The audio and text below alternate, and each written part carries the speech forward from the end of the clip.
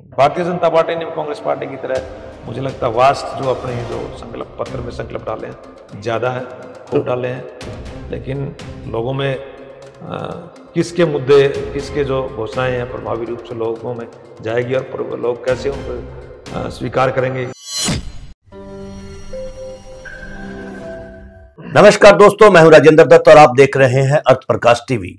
दोस्तों, जैसे जैसे विधानसभा जो चुनाव है, उनकी जो अंतिम तिथि वो नज़दीक आती जा रही है, वैसे वैसे ही जो राजनीतिक पार्टियाँ हैं, उनकी तरफ़ से लुभावने वादे और दावे, उनका जो दौर है, वो और तेज होता जा रहा है। इसी कड़ी के तहत आज कांग्रेस ने अपना दूसरा जो मैनिफेस्टो है, वो जारी किया है, जिसका उन्होंने नाम रखा है कि हाथ बदलेगा हालात, जिसको उन्होंने घोषणा पत्र का नाम दिया है। इससे पहले जो उन्होंने अपना मैनिफेस्टो जारी किया था, उसमें पक्के इरादे के नाम से उन्होंने पहला घोषणा पत्र जारी किया था। आज चंडीगढ़ में यह घोषणा पत्र जारी हुआ यह मैनिफेस्टो जारी हुआ है। हाथ बदलेगा हालात। हाथ कितने हालात बदलेगा, इस पर बात करते हैं। हमारे साथ है सतीश मेहरा जी, जो हरियाणा की राजनीति के बहुत अच्छे जानकार हैं। उनसे चर्चा करते हैं इस विषय पर कि ये जो घोषणा पत्र हैं, ये कितने लोगों के लिए लाभकारी होते हैं। मेरा साहब सबसे पहले तो आपका स्वागत है हमारे बहुत बहुत धन्यवाद आपका भी राजेंद्र जी। मेरा साहब आज कांग्रेस पार्टी ने चंडीगढ़ में अपना मैनिफेस्टो जारी किया। जी। हाथ बदलेगा हालात। पिछला मैनिफेस्टो कुछ दिन पहले दिल्ली में इन्होंने जारी किया था पक्के वादे के नाम से। तो ये जो घोषणा पत्र है जो इससे पहले भारतीय जनता पार्टी ने संकल्प पत्र के नाम पे जारी किया था तो दोनों में से मतलब कौन सा जो घोषणा पत्र है चाहे वो भारतीय जनता पार्टी का है या कांग्रेस का है लोगों पर ज़्यादा प्रभावी रहेगा और लोगों को ज़्यादा अट्रैक्ट करेगा ज़्यादा लुभाएगा। देखिए राजेंद्र जी चुनावी माहौल है। जी। और प्रचार पूरी यौवन पर पर है। बिल्कुल दोनों पार्टियों का प्रयास है कि ज़्यादा ज़्यादा घोषणाएँ ज़्यादा ज़्यादा लुभावने वादे करके जनता को लुभाया जाए ताकि उनके पक्ष में ज़्यादा वोट आए।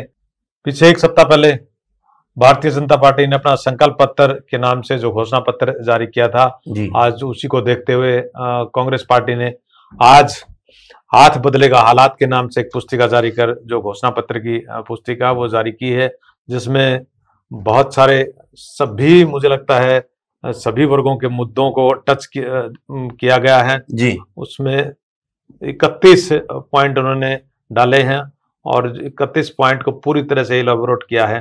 भारतीय जनता पार्टी ने बीस पॉइंट रखे थे तो इन्होंने इकतीस पॉइंट रख दिए। इकतीस पॉइंट रखे। और इससे पहले भी कांग्रेस पार्टी ने सात पॉइंट रखे सात पॉइंट रखे थे। सात पक्के वायदे के नाम से उन्होंने घोषणा पत्र जो पहला था वो जारी किया था। जी बिल्कुल तो अब जैसे इकतीस बड़ा वास्ट इनको घोषणा पत्र इसको कह सकते हैं। हम्म। और सभी वर्गों के चाहे हम बात करें स्वास्थ्य की बात करें चाहे और सामाजिक सुरक्षा की बात करें। सामाजिक सुरक्षा की बात करें महिलाओं के सशक्तिकरण की बात करें एग्रीकल्चर की बात करें सिंचाई की बात करें और युवाओं की बात करें किसान की बात करें जवान की बात करें आ, तो ये सभी मुद्दों को उन्होंने आज के घोषणा पत्र में कोशिश की अभी कोई जो मुद्दा अनछुआ ना रहे। अनछुआ ना रहे। जी।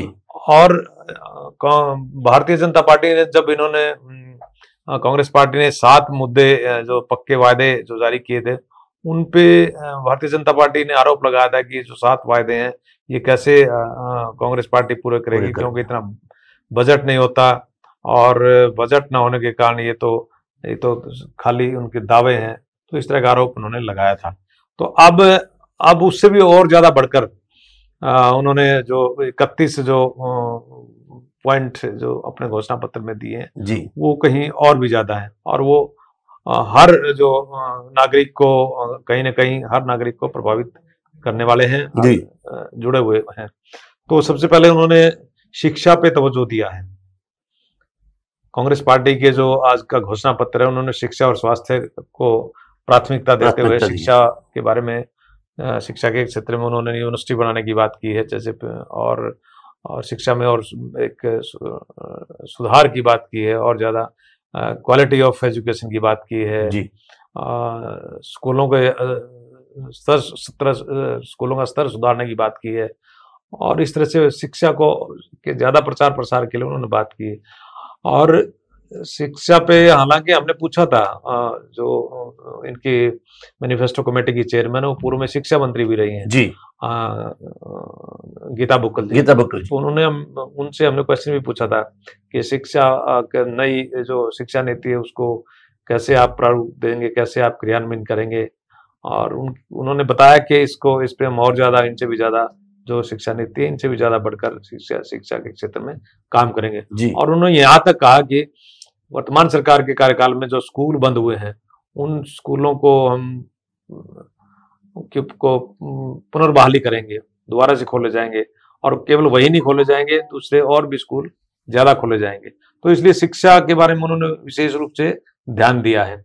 उसके बाद स्वास्थ्य के बारे में उन्होंने कहा है कि स्वास्थ्य में प्रदेश में सभी स्वास्थ्य के के विभाग में जो डॉक्टरों की कमी है जी। वो वो कमी उस कमी को पूरा किया जाएगा और अस्पतालों की जो संख्या बढ़ाई जाएगी अस्पतालों में जो स्वास्थ्य संबंधी जो सुविधाएँ हैं वो और ज़्यादा बढ़ाई जाएँगी।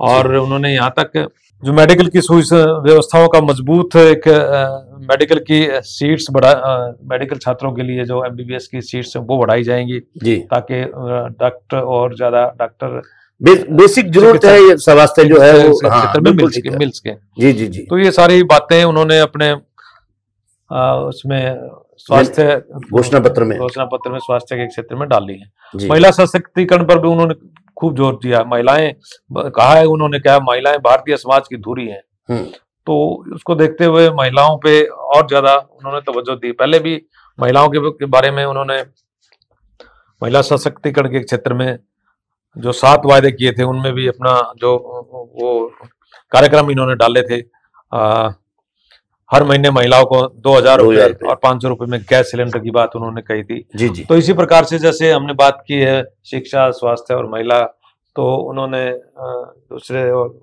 भारतीय जनता पार्टी ने भी महिलाओं के बारे में और शिक्षा के बारे में।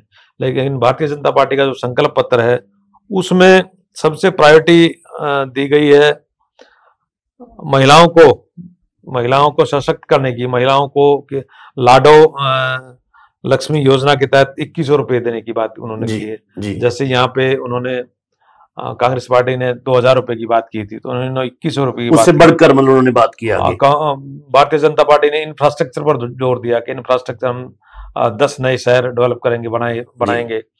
तो स्वास्थ्य के बारे में भारतीय जनता पार्टी ने काफ़ी तवज्जो दिया है।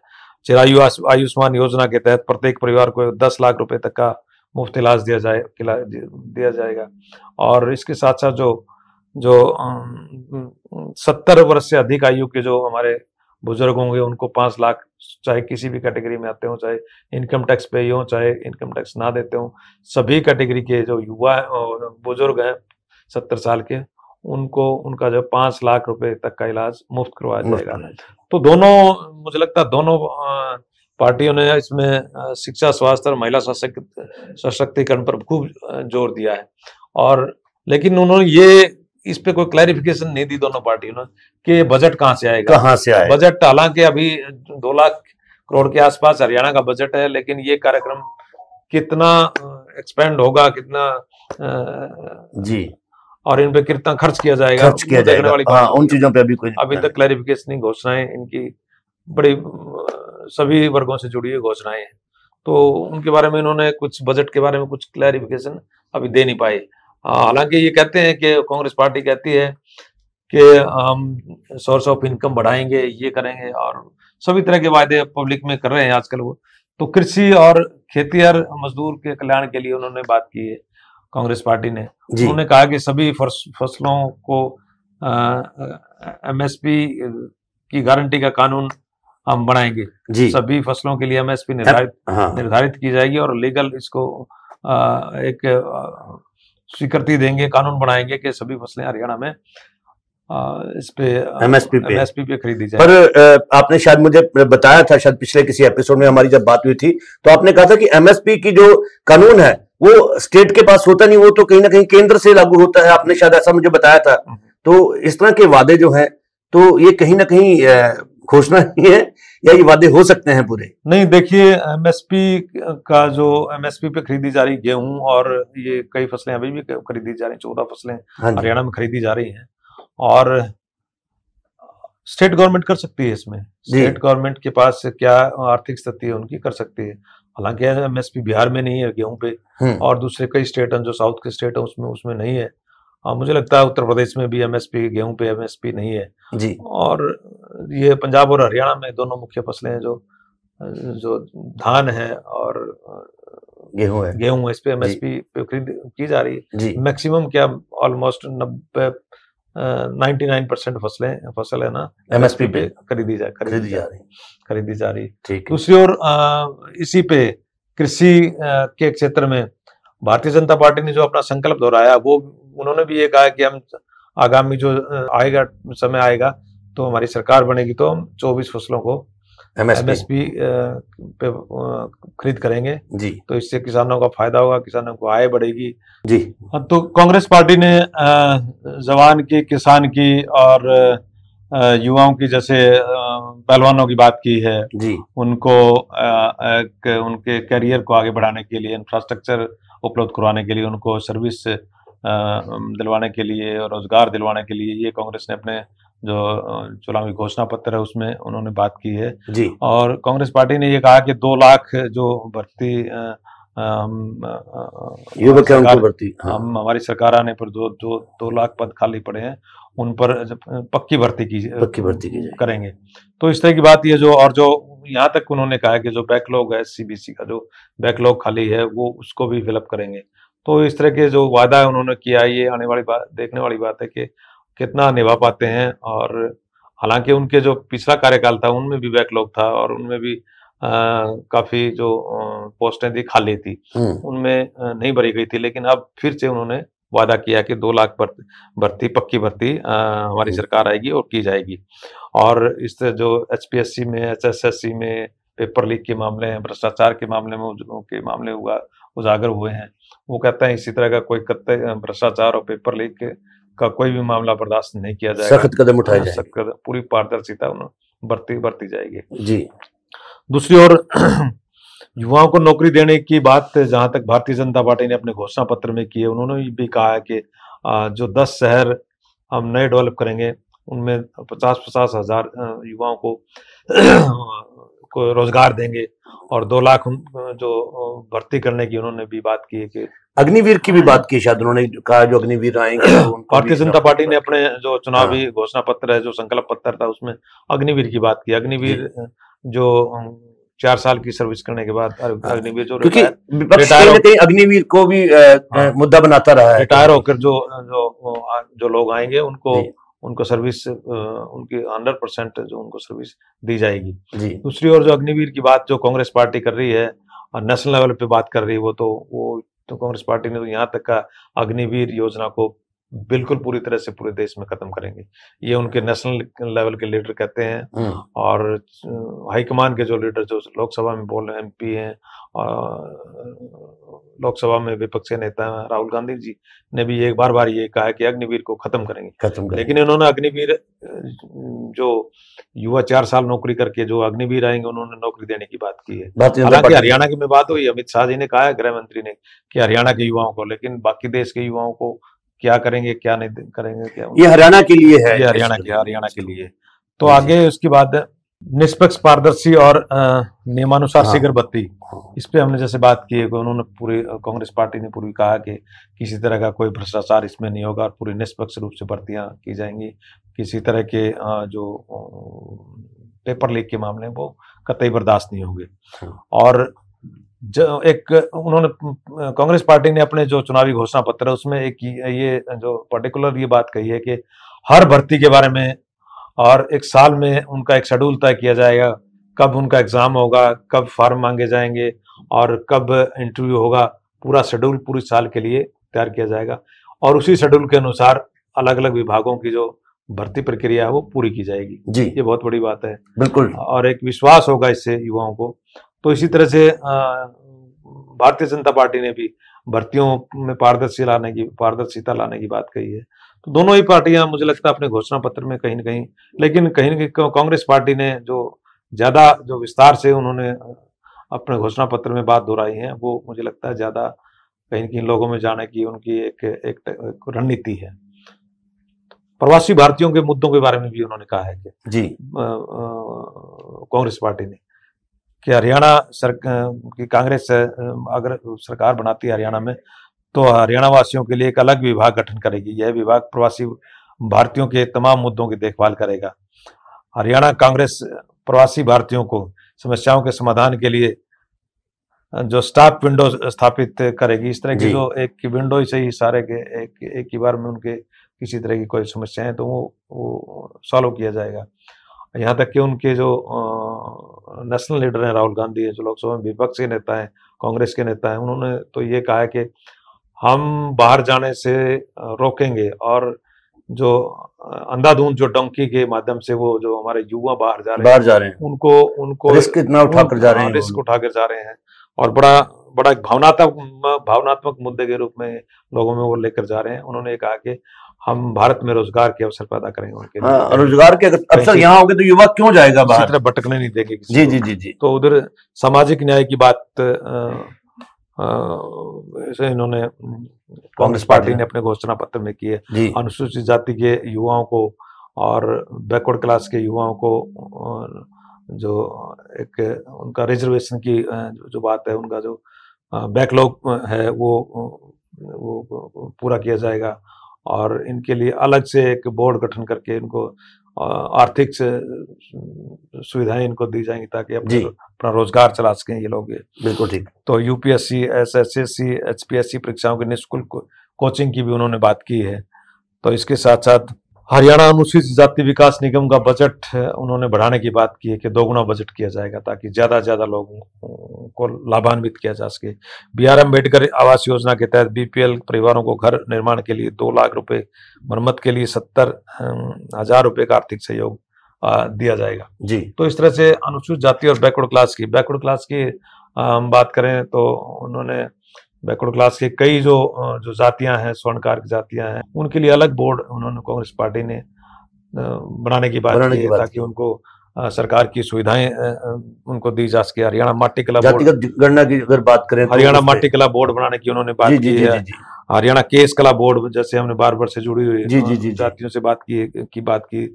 हरियाणा स्वर्णकार कल्याण बोर्ड की बात की हरियाणा सिलाई कढ़ाई वेलफेयर बोर्ड की बात उन्होंने की है। जी जी। तो इसी तरह से और दूसरी ओर भारतीय जनता पार्टी ने भी अपने संकल्प पत्र में छत्तीस बिरादरी के लोगों के कल्याण बोर्ड के कल्याण के लिए बोर्ड गठन करने की बात के लिए। हालाँकि उन्होंने ये मेंशन नहीं किया कि छत्तीस बिरादरी के कौन से बोर्ड होंगे। कौन से बोर्ड गोलमोल उन्होंने कहा है कि छत्तीस बिरादियों के कल्याण के लिए अलग अलग बोर्ड गठित किए जाएँगे।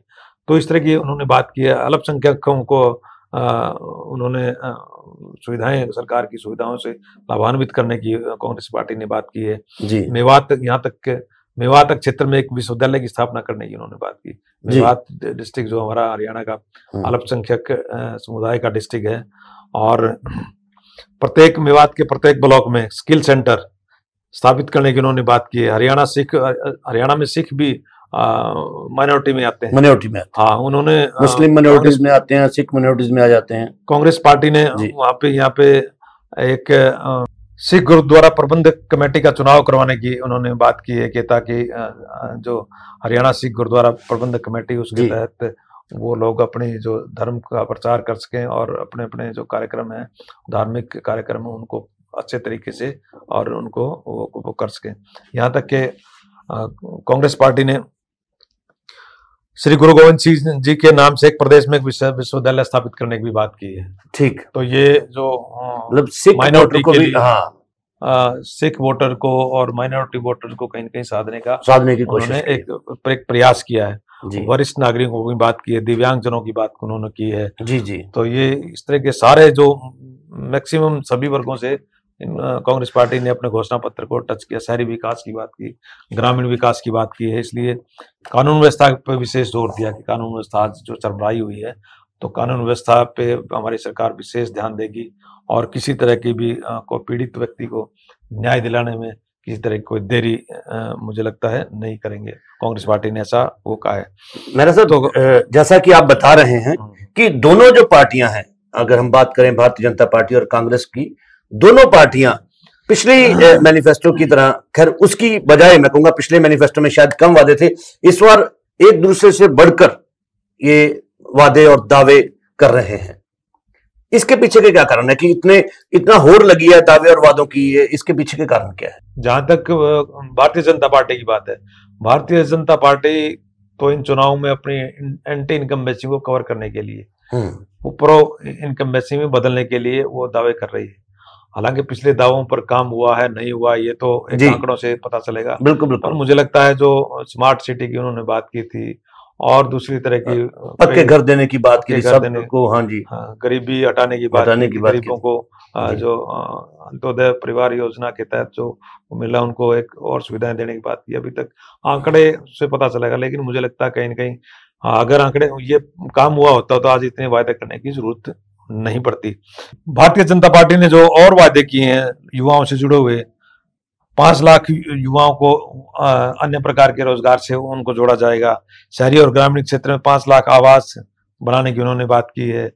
कांग्रेस पार्टी ने भी इसी मुद्दे पर काफ़ी विस्तार से अपने घोषणा पत्र में इन मुद्दों को डाला है। तो हर ज़िले में ओलंपिक खेलों की नर्सरी की बात की है युवाओं के लिए। ताकि खेल इंफ्रास्ट्रक्चर यहाँ पे डेवलप हो, हो पाए। ये ये भारतीय जनता पार्टी ने बात की है। हर हरियाणवी अग्निवीर की सरकारी नौकरी की गारंटी उन्होंने जैसे हम पहले बताया जैसे ये गारंटी उन्होंने दी है।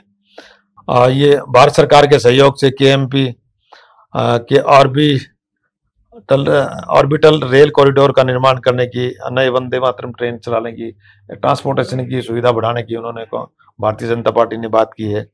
तो कर्मचारियों से जुड़ी हुई बात की है डीए को और पेंशनों को पेंशनों को जोड़ने की साइंटिफिक फार्मूले के आधार पर जो नई हम्म। एनपीएस आई है उन उसके अलावा एक और योजना उन्होंने पेंशन योजना शुरू की है केंद्र सरकार ने उसे जोड़ने की बात की भारतीय जनता पार्टी ने कांग्रेस पार्टी की तरह मुझे लगता है वास्ट जो अपने जो संकल्प पत्र में संकल्प डाले हैं ज़्यादा है खूब डाले हैं लेकिन लोगों में किसके मुद्दे, किसके जो घोषणाएँ हैं, प्रभावी रूप से लोगों में जाएगी और लोग कैसे उनको स्वीकार करेंगे। में सभी लोग, वर्गों को उन्होंने टच किया है और सभी लोगों को लाभ पहुँचाने की बात की है। अब तो ये देखने वाली बात होगी कि जनता है पब्लिक के बीच में, ये अपने घोषणाएँ और वादे और ये संकल्प पत्र लेके जा रहे हैं तो किसकी ज़्यादा जनता सुनती है और किसके पक्ष में वोट करेगी? ये जो घोषणाएँ हो रही हैं, सरकार कोई भी आए, कांग्रेस की आती है या भारतीय जनता पार्टी की आती है, क्या ये घोषणाएँ जो है ये इंप्लीमेंट हो पाएँगी? या कोरे दावे और वादे ही रह जाएँगे? देखिए राजेंद्र जी पहले भी हम बात कर चुके हैं। इस पे और जो ये पॉलिटिकल पार्टियों के घोषणा पत्र हैं चुनाव के दौरान है चुनाव जब आता है जब अपनी अपनी घोषणाएँ करके पब्लिक में जाते हैं जनमत मांगने के लिए पब्लिक से।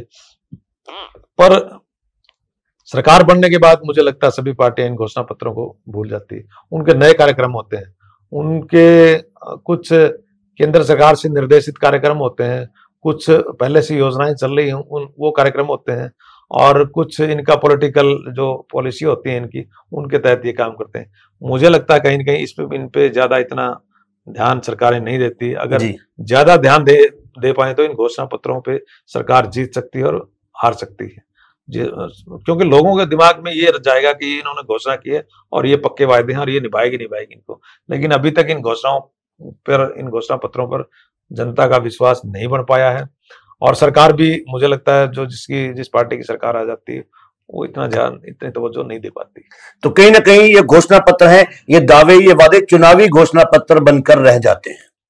तो हम अपेक्षा करते हैं कि चुनावी घोषणा पत्र बनकर न रहे सब जो भी जिस भी पार्टी की सरकार आएगी वो पार्टी निश्चित रूप से इनको लागू करे ताकि आगे आने वाले समय में एक जनता को विश्वास हो जनता को आशा हो और आगे भी जो चुनाव होंगे उन चुनाव में जो घोषणा पत्र जारी करेंगे उन घोषणा पत्रों पर चुनाव जनता विश्वास करके एक जनमत की तरफ़ जाए किस पार्टी को जाएगी किसको नहीं देगी ये।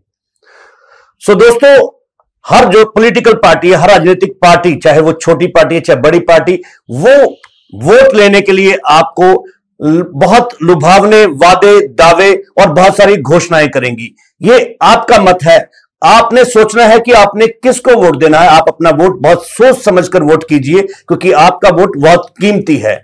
और चुनावी चर्चा के अगले एपिसोड देखने के लिए देखते रहे अर्थ प्रकाश टीवी। मेरा साहब, आप हमारे स्टूडियो में आए। आपका बहुत बहुत धन्यवाद। थैंक यू धन्यवाद राजेंद्र जी, आपका